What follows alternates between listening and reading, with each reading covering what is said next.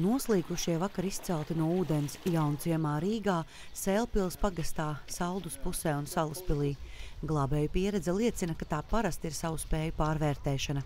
Vakar Rīgā arī peldvietā, kur dežurē glābēji, aizpeldot pārāk tālu sāk slīgt zēns.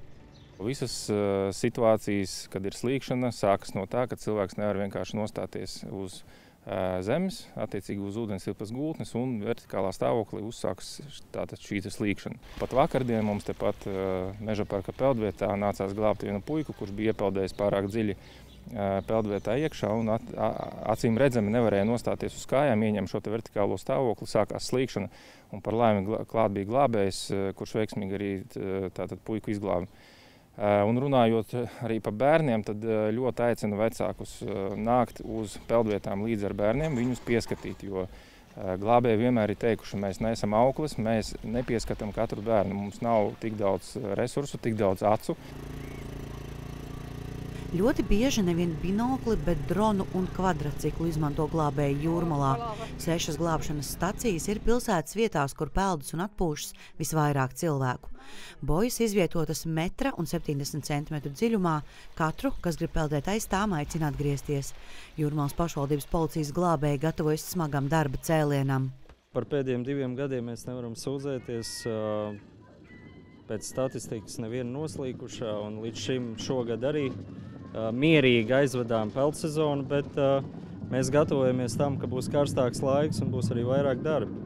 Pirmkārt un galvenokārt es gribu uzsvērt, ka ir jāpieskata bērni, jāpasargā Latvijas nākotne, jāpasargā arī pašiem sevi, jāizvērtē savas prasmes peldēt, Tostarp arī iesaistoties nepieciešamos glābšanas darbos, jā, ļoti rūpīgi ir jāizvērtē, vai, vai tas vispār ir nepieciešams, lai vienas līdzēja vietā nebūtu divas līdzēji.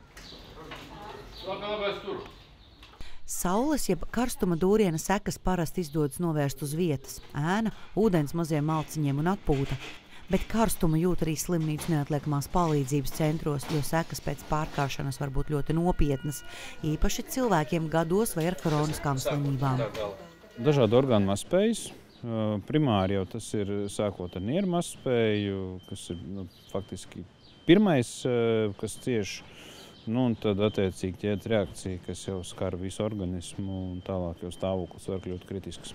Ārsts atgādina, ka karstajā laikā ir maksimāli jāveidina telpas un daudz jādzer ūdens.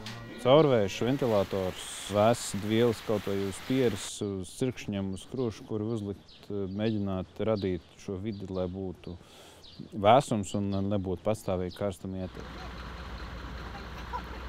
Mūsu sastaptie cilvēki gan par karstumu īpaši nesūdzas. Cepurē jābūt galvā. Bet jums ir malacis. Jā, nu savādāk es nevaru iet uz ielas. Kas pa dārzu, pa rīta stundām, pa vakara stundām? Nu, rīta vakara stundās avenes jālas agri. Mējam uz upi peldēties, mēs esam no Jālgavas.